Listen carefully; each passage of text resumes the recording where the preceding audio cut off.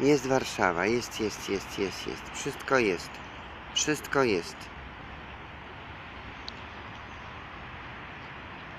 Warszawa centrum, Warszawa śródmieście.